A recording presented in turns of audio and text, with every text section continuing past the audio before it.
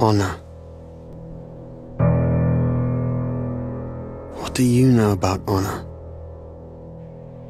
You, who has never faced true fear. Learn what honor is before pretending you are a warrior. Know this before you step onto that thin red path where no misstep is allowed. Path that only ends when your legs fail to support you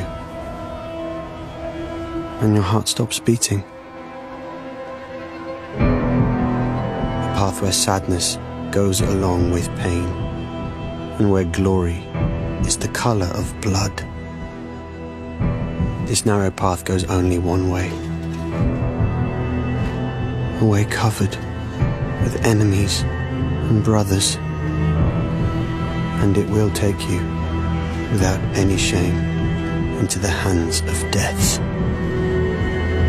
For the name you were given, and for your descendants.